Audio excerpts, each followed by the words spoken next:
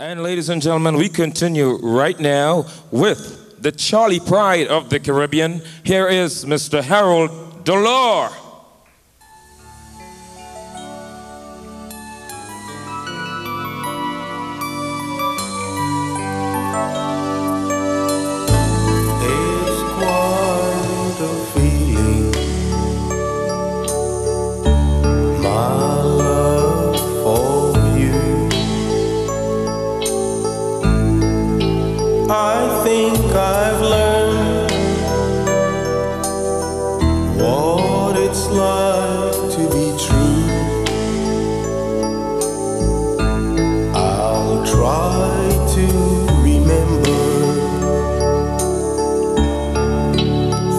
I shouldn't do.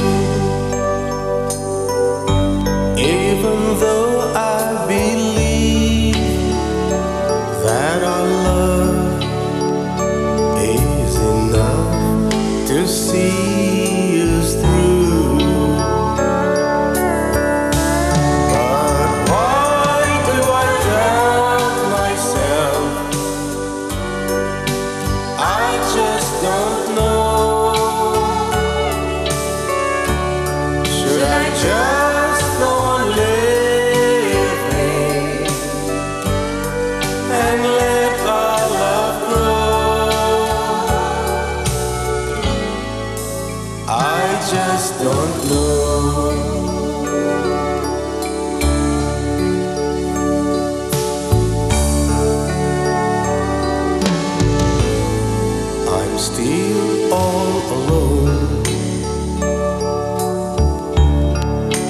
Every now and then, wondering how we to be together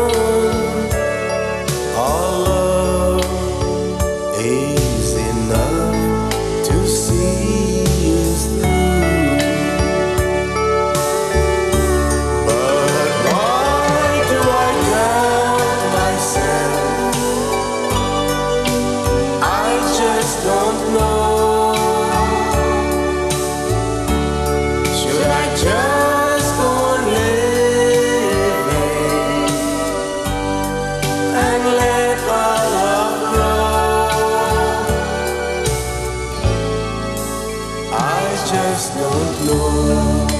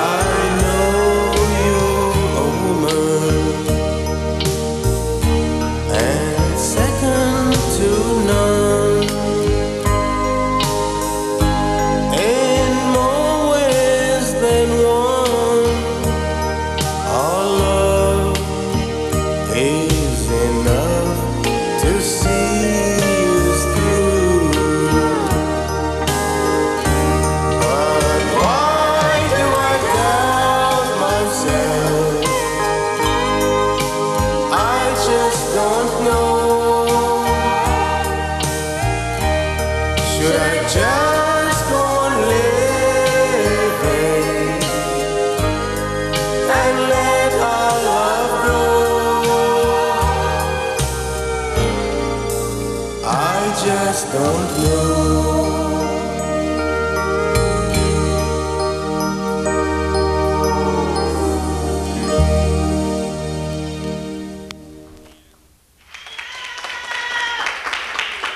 Ladies and gentlemen, all the way from Castries, St. Lucia, that was Mr. Harold Dolor. Mr. Dolor, let me ask you a question. Now, you're being dubbed as the Charley Pride of the Caribbean, singing country and western music. And how did this all come about? Well, uh, my I grew up liking country and western music. I'm sure most of the Caribbean loves country music. My brothers and sisters before me always enjoyed country music. So it was like part of me, and uh, it's very rare in the Caribbean. And I thought someone should start something like that. In other words, you want to be different. Is that it? Correction, not different. okay, I stand corrected. I just, you know, I, I feel uh, it's not competitive. In the beginning of anything, the beginner always gets a little bit more credit. So I thought maybe that's a good way to try. And I do write my own material, so it's been in my system for a while. How long have you been singing? Strange to say, uh, I haven't been singing very long. I've been writing for a long time. Uh, I've been writing for groups from the Caribbean, from St. Lucia and other places. But I started singing in 1987 after the death of my mother. I wrote a song called We Love You, and uh, it's also on the album that uh, I Just Don't Know is also part of. So I started singing in 1987. Well, may her soul rest in peace. And listen, I think it's a great job you're doing. I want to say congratulations to you and uh, keep it up. Thank you very much. Ladies and gentlemen, from St. Lucia, Mr. Harold Dolor.